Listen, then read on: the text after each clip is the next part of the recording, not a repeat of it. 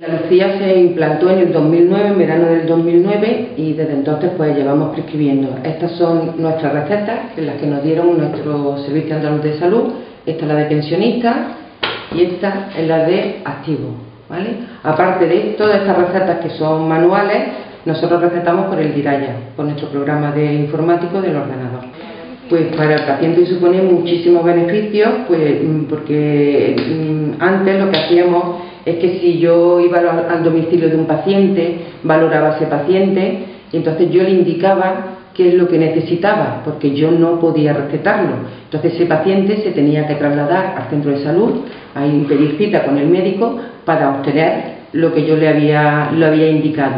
Cosa que ahora no, yo voy al domicilio del paciente, veo qué es lo que el paciente necesita y yo se lo receto.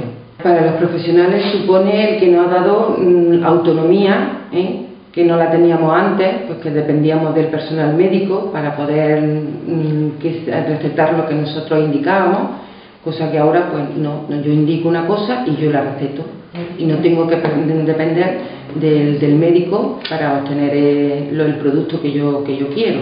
Esa prescripción hay que acreditarse para hacer esa prescripción colaborativa.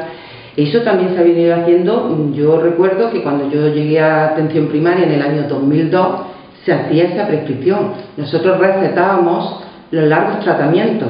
¿eh? Lo único que pasaba que yo no lo hacía con una receta mía, sino que lo hacía con receta del médico. Pero yo renovaba todos esos tratamientos. Luego ahora lo único que vamos a hacer es seguir renovando esos tratamientos, pero con recetas nuestras, que van a nuestro nombre. O sea que es lo mismo exactamente. Y al ser colaborativa, tú te pones de acuerdo con el médico en qué se modifica y en qué no se modifica. Se hicieron unos cursos que se hicieron a nivel de los centros de salud, donde se nos enseñaba más que a prescribir, a manejar cómo se prescribía en Miraya, ¿eh? en el ordenador. ¿eh? Pero vamos, que no hubo ningún tipo de, problema. Pero sí se hizo esos cursos para poder prescribir.